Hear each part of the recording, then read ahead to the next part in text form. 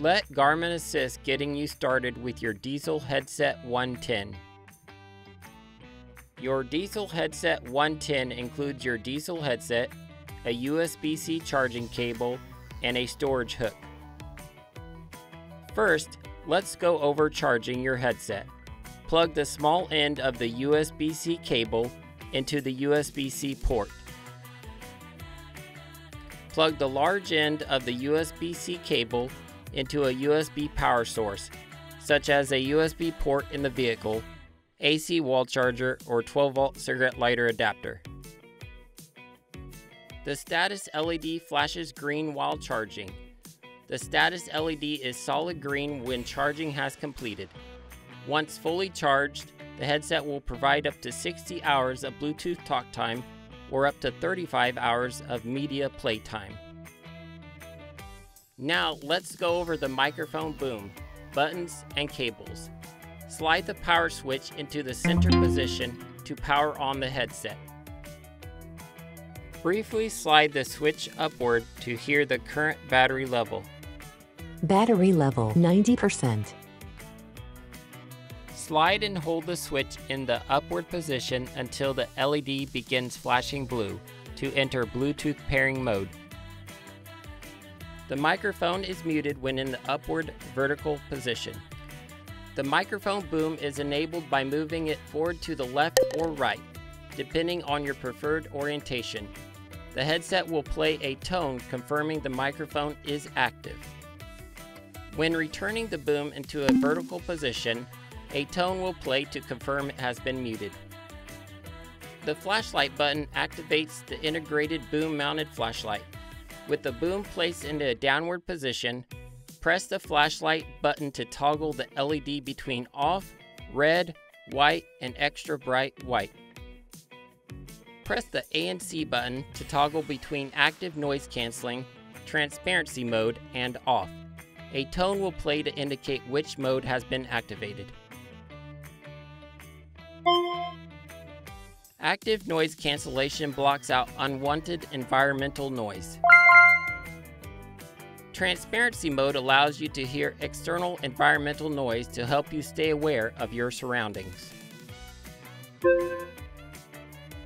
You can use the rocker to control the headset, volume, music playback, and phone calls.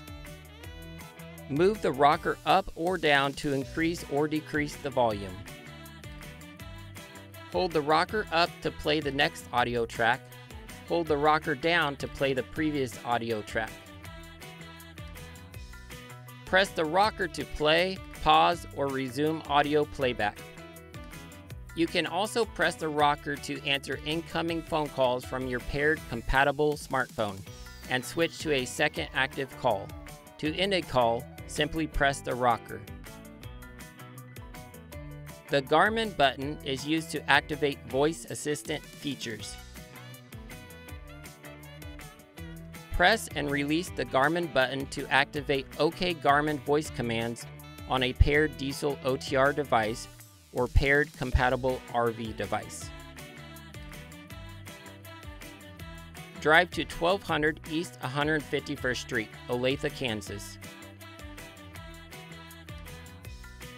Press and hold the Garmin button for 2 seconds to activate the voice assistant on your compatible smartphone. The phone's voice assistant will activate and receive voice commands from the headset. Let's cover how to utilize the included storage hook. The storage hook can be mounted to a surface using the included adhesive pad. When choosing a location to mount the storage hook, choose an area where the headset is not exposed to extreme temperatures.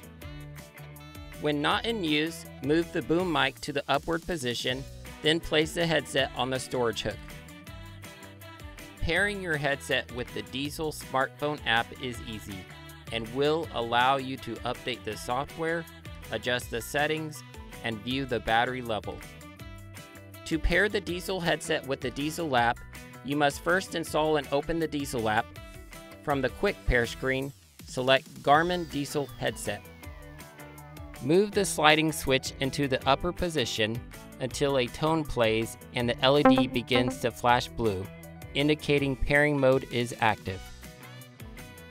follow the on-screen prompts to complete the pairing process. A product tour is provided for you to get more information on the various features of the dēzl headset.